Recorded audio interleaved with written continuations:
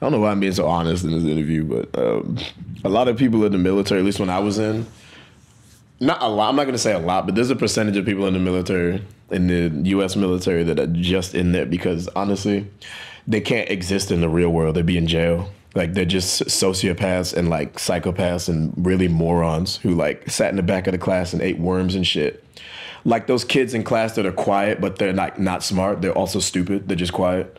Those that's like military kids. Yeah. And like um yeah, they were just shitty people.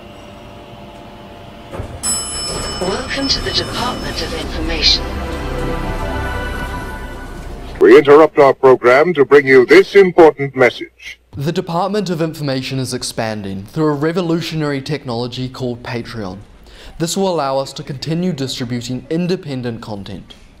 For only 5 New Zealand dollars a month, our interns will receive exclusive content, including extended cuts, full length interviews, and behind the scenes videos.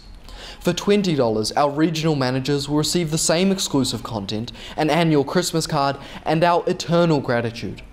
Finally, alongside all other perks, board members will be recognized at the end of each video. Please send your applications to patreon.com slash the Department of Information. Can you introduce yourself? Who are you? Why are you in New Zealand? My name is uh, JPEG Mafia, and uh, I'm in New Zealand to play some music and buy drugs. Where's the best place you've ever performed? The best place? Like country? That's hard to say. I like performing in the UK because they just beat the shit out of each other at all the shows, so that's pretty fun. But um, that's hard to say. I don't really have a favorite, really. Like everywhere is kind of different. I, I couldn't really like pinpoint it, but um, I, I'll say this: I like performing in um, I like performing in Baltimore, back back home. So that's probably like my favorite place to perform. Do you feel like you have a special connection when you perform there? Yeah, definitely. You know, I came up there musically, so when I go back, it's usually like crazy energy. You know, because it's just like I was I came up around there, so. Some of your other early shows were in Louisiana in the deep south. Yeah. What was it like performing there? the complete opposite of what it's like performing now. Um, when I was in the South, I had I used to try to have hostile shows on purpose because of where I was. So every show was like a fight or an argument or just some some kind of hostility to the point where I got used to it, you know. And when I went to Baltimore, I, I fit re- right in because I was ready for like genuinely like hostile, like I don't know if I'm getting out of here type shows. So um yeah, that that's back when I was when I was very first starting out and I was trying to figure out what I wanted to do. I figured the best way to do it was to stand in front of people who I knew hated me and like do what I do best. So it, that's the best way for me to learn, you know. That's the best way for me to get a real reaction. You know, um, I liked it. It was like a, a a fucking I don't know, a social test or something. It was like I was just testing out like how people react to things. So yeah. Did you have any expectations that people would react in the way they did? Yeah.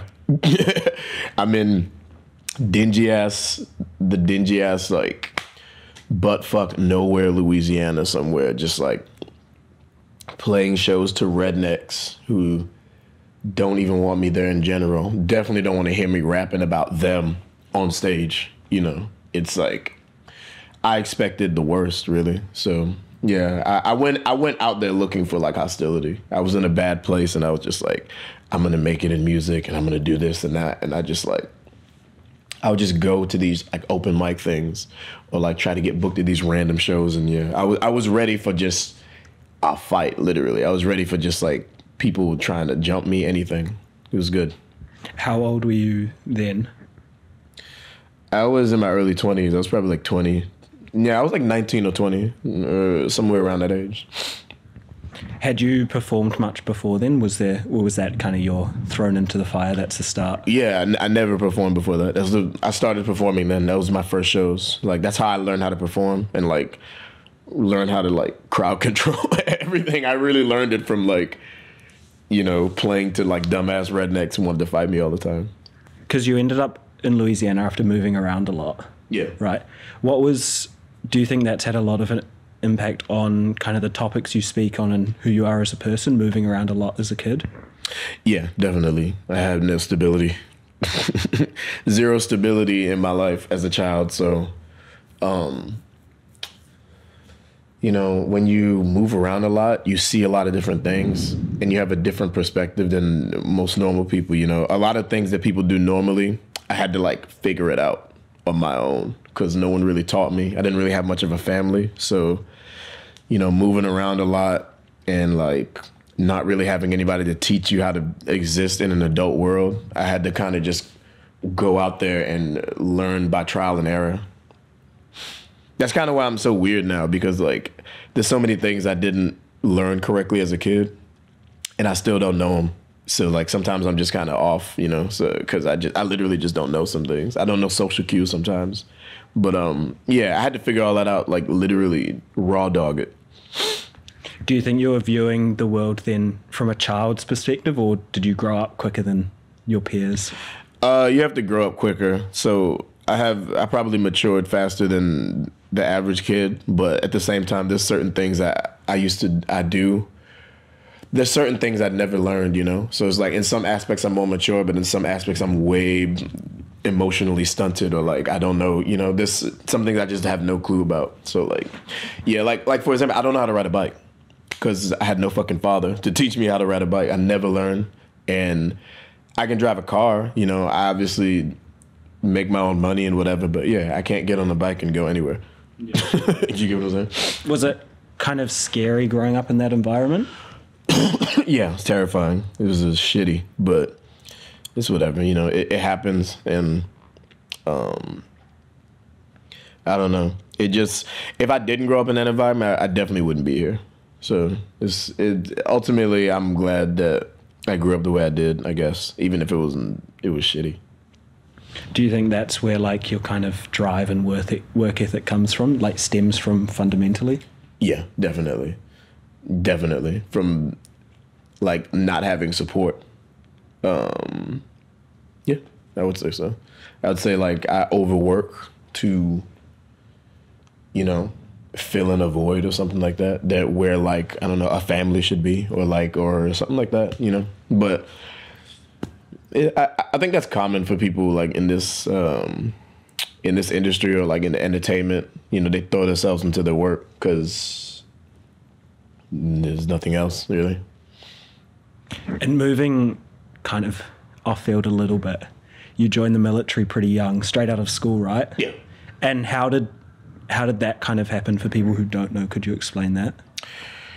Um, I was just really poor, and uh, recruiter came to my school and was just like, um, damn. I don't want to tell you the real story because it's like, um, it, it, I- I'll say this. I I was just very young and just in a bad position, and I had going to the military was the best option for me at the time because there was zero other options. If I wasn't, if I didn't join the military, I would be like just fucked somewhere, you know. Um, but yeah, joining straight out of school because you have to wait till you have to be 18 to join. So like, um, yeah, I straight out of school, I went straight in. What were your first kind of week like? Your first ten days of actual deployment, like in the military? of deployment. shitty as fuck. So shitty. Um, I got off the plane and um, the first place I deployed was Kuwait. Um, I got off the plane, and as soon as you get off the plane, um, you're in this weird. It's just this odd area. It's like this closed off, deserty area, and you step off, and you ever like walk in, you ever like put your hand in the oven or something, or just put your hand in something too hot, and you're just like, whoa, you step back. It's like you walk out, but it's like an oven, and you can't step anywhere. So so fucking hot. It's like 140 degrees or some shit like that. And I was like, okay, this is where I'm gonna be for at for a year or so. so yeah, my first 10 days was trying to adjust to the heat, which I never really did. Um, and trying to just learn my job and do what I had to do and get the fuck out of there, really. And was it ever scary in the military? Like, what were the people like who you were kind of deployed with? shitty. A lot of them are. I don't know why I'm being so honest in this interview, but um, a lot of people in the military, at least when I was in, not a lot. I'm not gonna say a lot, but there's a percentage of people in the military, in the U.S. military, that are just in there because honestly, they can't exist in the real world. They'd be in jail. Like they're just sociopaths and like psychopaths and really morons who like sat in the back of the class and ate worms and shit. Like those kids in class that are quiet but they're like not smart. They're also stupid. They're just quiet. Those that's like military kids. Yeah. And like um yeah, they were just shitty people. And like me coming from where I came from and like having all the shit I had to deal with, having to deal with just shitty people who don't know how to interact with anybody was kind of like I wanted to I just wanted I just needed to get the fuck out of there as soon as possible. So I was just like I hate these people. I hate this shit. I don't like this environment. I fucking hated the military. I still hate the military.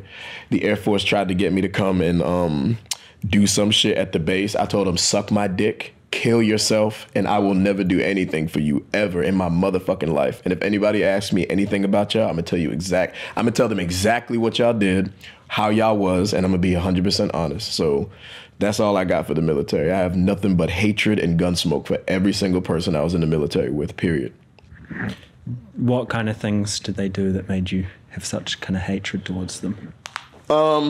you know, the gist of it is just um it's hard to explain, man. It's, it's it's a lot of shit, but they they fostered an environment where like basically your rank meant more than anything else. Like rather before you're a human being, before you have opinions, it's just like your rank. So like someone could be wrong, not know how to do their job, not know how to do this and that, and as long as they're higher ranking, they can do whatever they want. So basically that sets the precedent for bullshit. Pretty much. So like yeah, and me being someone who, you know, doesn't have social cues sometimes, doesn't have this, I got misunderstood a lot and treated like some kind of degenerate when it's just like am I a degenerate? Because I got out and I made something of myself. How many of those motherfuckers can? I know someone when I was in the military. I bet I'm kind of ranting.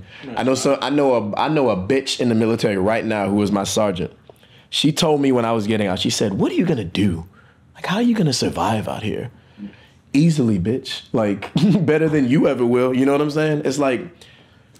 I hate those motherfuckers, yo. I hate them. And I'm being very soft with like the shit they're doing. They've done some genuinely like weird, horrible, illegal bullshit. So I'm just I'm gonna keep it there, but like, yeah. The military, at least the part that I was in, the base that I was at, I don't have anything good to say about anybody there. Was it hard to kind of reintegrate back to society after getting discharged? I was ready for it. I was like, when I was in, I was like, oh god, I hate this shit. Like I, I just my I mentally like was out of it as soon as I got in. I was like, nah. So um, no, it wasn't really hard. I got out, started doing my thing, started working on music. Eventually, found my way to Baltimore, and like yeah, eventually became uh, who I am now. So I got out and I had a goal and I had a plan and um, I set out and I, I achieved it for the most part, and I'm still going. So yeah, no, it wasn't hard at all. It, I mean, it, was hard in the way like I was broke and like had to like figure that kind of shit out. But I don't really count that shit. That's just what you have to do. But as far as like, was it mentally uh, difficult? Like, was it hard for me to be like, yeah, I'm not gonna make it or something like that? Never once did I think I was never like, shit, I'm not gonna make it. I'm gonna have to end up back in the military. I knew for a fact I was never going back in that shit. So um, no, it wasn't hard in that aspect. Were you always confident after leaving that you'd make it as a musician? No, I, I, I, I honestly thought I would fail. I, I was prepared to die unknown, honestly, because all a lot of the artists that I used to or still do listen to, they they never got recognition when they were alive. Um, I bring this up a lot, but Nick Drake is an artist. Um, he he died nobody. He died in his fucking house, depressed, thinking nobody liked him. You know what I mean? He just overdosed, and his fucking parents didn't even notice for like two days. And you know, years later, they put his song in like a, tr- a truck commercial or some shit, and now you have all these people coming up out of his influence, literally. He'll never know though, because in real time, in real life, when he was really there, no one treated him correctly. So it's just like, I saw that so much with artists that I specifically like. I was prepared for that as a reality for me because it's how people treat me anyway at the time. So I was just like, ah, whatever. If I if you know if I leave this music here and someone discovers it later, it's fine. I, I'm I'm glad with that. Maybe I won't see it, but it's whatever. You know, leaving a legacy is is important. Like Jimi Hendrix has a legacy. He's been dead for 70 fucking years, and people still bring him up today because of his legacy. You know, he did it. I want to say Arthur Russell was kind of like that. He didn't really get the recognition he deserved until he passed away. A lot of artists have to die or like have someone beat their ass to death or some shit. Just some, they have to have something crazy happen to them for people to give a fuck. And for me, I've always judged people on the music. I'm like, this shit is fire. If it's fire, it's just fire. And I have like a very uh, unbiased view on that. And when going out and interacting with the rest of the world, I started to realize like how biased people are in music. Like they might like you because you got nice hair, or they might like you because like you look good, and you know it might. It doesn't always have to be about the music, but for me, it was just like if I like the music, it's kind of like I can't even see what you look like because I just like the music, you know. And I, I, I have very objective look on music, even though it's a subjective thing. But um, yeah, there's so many artists I listen to that I literally am heavily influenced by were unknown motherfuckers, man. Like in the in real time, they were not respected at all. Um, a bit off topic, but to link back to what we were doing, what did you think of your street interviews? Oh shit, that's a whole different energy. that shit was funny as fuck, man. That was great. That was um, nerve wracking. I always thought I, I thought I would. I honestly thought I would be decent at it, but then when I started, I was like, oh, fuck, what the fuck. That's why I kept saying like I need to drink and like, cause I just get looser and like I wouldn't feel as like weird saying whatever. But I loved it, man. I've never really had an interview like that before or any kind of content like that. So like that was like one of the most fun content things I think I've ever done, honestly. As you mentioned drinking, I saw in an interview that what you said you picked up drinking kind of more heavily at 29. Yeah. Why I- was I that? didn't- Stress. I did not drink at all really until I was like 29, 30. Um, uh, I just never used to drink. But like when I got into the music industry, I'm not gonna say it made me want to drink, but like it was more available and then like it helps me with my nerves, you know. Um, but it also makes me run off at the mouth and say things I really don't need to say all the time. And then like, I don't become a different person. I just become like, I just like remove filters and the real degenerate in me is unsuppressed. So like, I just want to suppress that a lot of times because, um, yeah, but I don't drink as much as I used to. I still drink, but like I used to just get fucked up. Like there's an interview of me with Talib Kweli where I'm like genuinely throwing up like three times. And I felt so shitty after that. He never talked to me again. But that's okay because he's a fucking weirdo anyway. But like I I still felt bad, you know. Like if I ever saw him, I'd apologize to him. You know, I'd be like, yo, I'm really sorry about that. But yeah, when I first got into the to the industry, I was just drinking liquor and shit. But then I started drinking champagne, and now I just I just drink here and there. I don't really I don't drink like that anymore. So yeah, I had like about three four years of what I was like a, a fucking drunkard. Do you think you're a happy person? Hell no. I think I have the potential to be happy, but I think it's difficult um, mentally to be consistently happy at all, especially in this day and age and shit. You're just exposed to so much negativity all the time. You know, if you, it's real easy to find toxicity. Just log into Twitter, log into anything really. Um, but being happy, like actually being like consistently happy, and content with yourself is probably, as a human being, is probably the hardest shit to do. One of the hardest things to do, especially for me. I would. I'm not gonna say I'm like a, a ter- like a negative asshole person, but I'm definitely not a happy-go-lucky like positive guy. Like I've been exposed to too much real shit. You know, I think if you're really positive, you you've either been exposed to so much shit that you're forcing yourself to like walk past it, or you don't go outside and you need to, you know, someone needs to just walk up and punch you in the face one day for no reason so you can see like shit's not positive all the time. But like for me, as a grown ass black man, growing up in the States, growing up where I grew up, it is not in my best interest to walk around with a fake uh, idea of everything is positive. It could get me killed depending on where I'm at. If I go down to the south, where all these Klan members and shit are, and I'm like, everything's great. That's not smart. You get what I'm saying? So it's just like the rules are different depending on what you look like, who, you know, who you are, et cetera, et cetera. So yeah, I wouldn't consider myself a happy person. Do you think people are inherently good? Nope. I don't think so either. I used to work, I've worked a lot of odd jobs, general labor jobs, customer service jobs. They'll just be rude to you. Yeah. I from what I've observed, most people are only good because they're suppressing it because there's laws and shit in place to be like, you can't do that. But like, if, if this shit was like the purge, people would just be getting shot, raped, beat up all the fucking time. It would be nothing, literally. People you wouldn't even think of, they would just be doing it just because like there's no consequences for it. But yeah, no, I don't think people are inherently good at all.